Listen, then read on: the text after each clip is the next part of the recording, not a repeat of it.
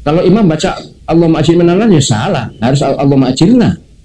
Kalau imam, wah itu Nabi pernah marah itu. Mimpin doa, Allah ma'ajirni minannar. Nek cara aku sing dadi makmum yang kau tak sundul. Wong diamanati dungo imam doa itu adalah sekali lagi berulang kali saya sampaikan adalah untuk semua.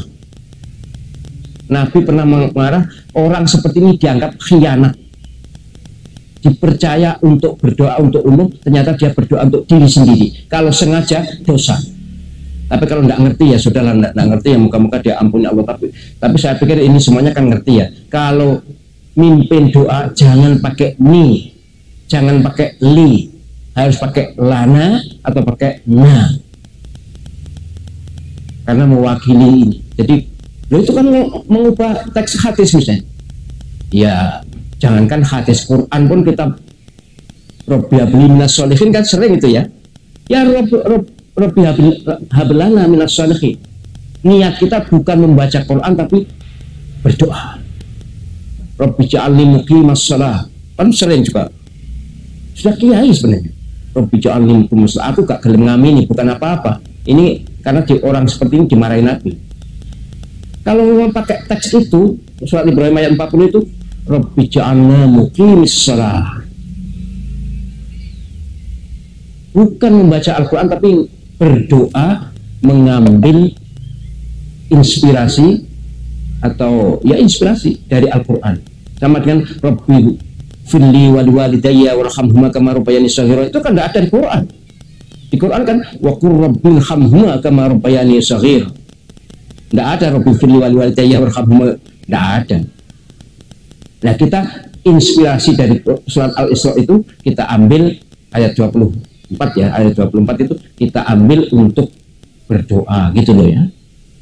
Kemudian astagfirullahaladzim li wali walidayya. Memang tidak ada hadisnya. Dan ya mohon maaf saya tidak membaca itu. Saya membaca itu kalau berdoa.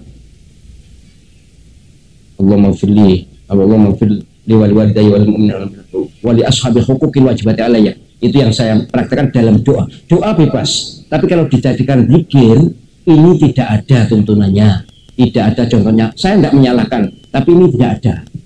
Nabi SAW tidak pernah baca ini. Untuk zikir untuk wirid ya.